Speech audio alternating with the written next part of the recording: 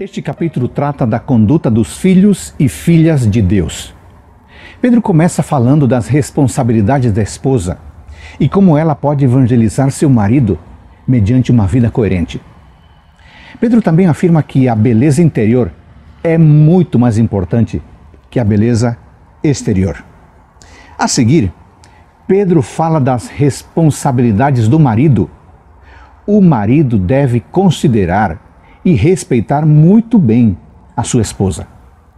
Pedro chega a afirmar que, se o marido não respeitar a sua esposa, suas orações não serão respondidas. Isso é muito sério. Mas Pedro também fala das responsabilidades de todos. Todos devemos viver em harmonia, retribuir com bem, tanto o bem quanto o mal que alguém possa nos fazer. Pedro também diz que devemos adorar somente a Cristo, pois Cristo é o nosso Senhor. E precisamos defender a nossa fé de maneira bem clara, de maneira racional. Afinal de contas, o cristianismo é uma religião muito bem fundamentada.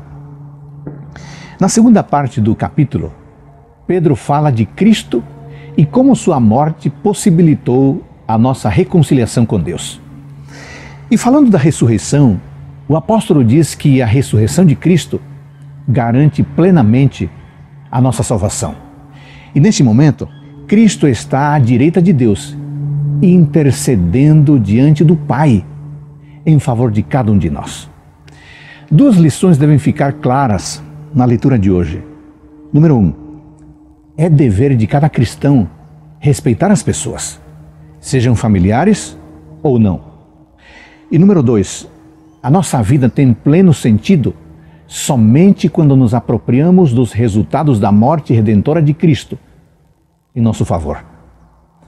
Que Deus abençoe você, os seus planos, o seu trabalho e a sua família no dia de hoje.